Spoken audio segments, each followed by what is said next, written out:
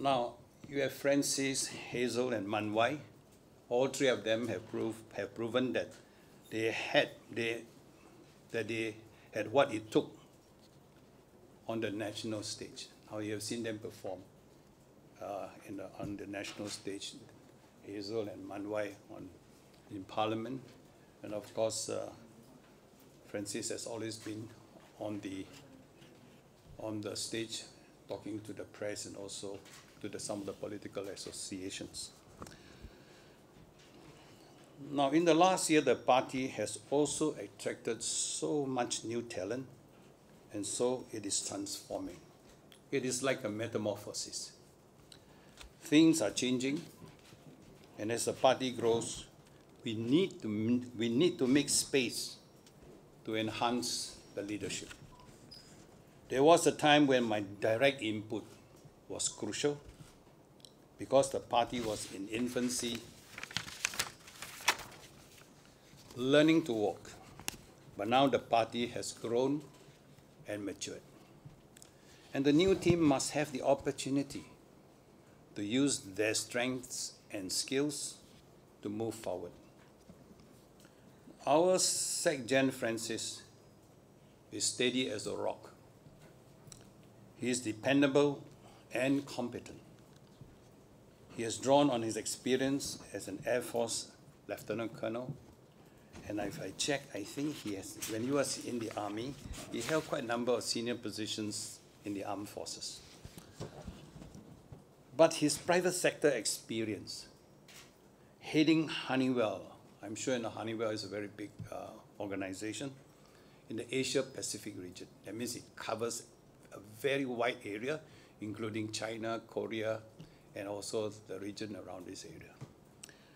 Now, he has done a fantastic job restructuring the party and introducing new incentives to allow political talent to surface. You see, after our the, the general election, we reorganized our party.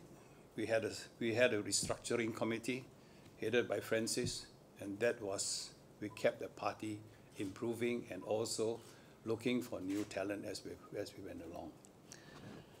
Now, he is full of composure and instill quiet confidence in people. To use a Hokkien term, I'm a Hokkien speaker. It's in Chai. You know what's Chai? You? So you must look for people who are Jin Chai, then I know they can carry the ground. And this is what we need, as I said, in the second gen.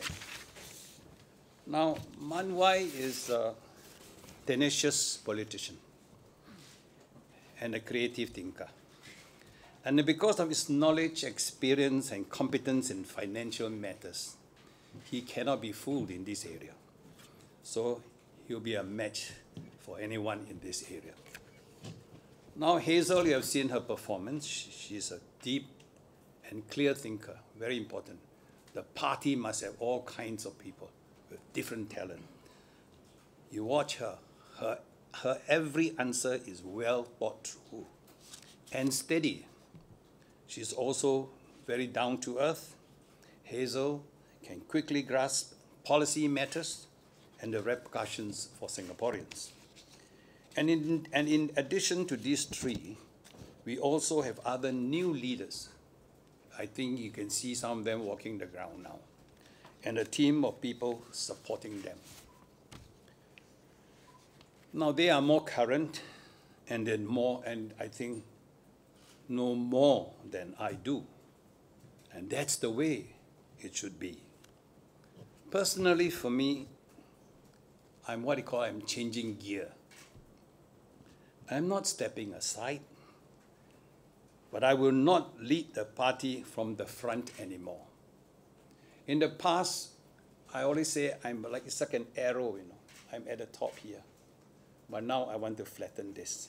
So it's so get we get everybody to do some some job so that I can also look out on the capabilities and also the abilities as future leaders. So the time is right for me to play a different role now people asking me whether I should step down. I tell them, look, I just started. I just started last year. How can I step down? but I'm changing gear. I keep on repeating, okay? So I will play a different role. The job of running the party is now on the shoulders of Francis and all my other young leaders here. And I'm very confident in them because I watch how they do things and I watch how they conduct themselves.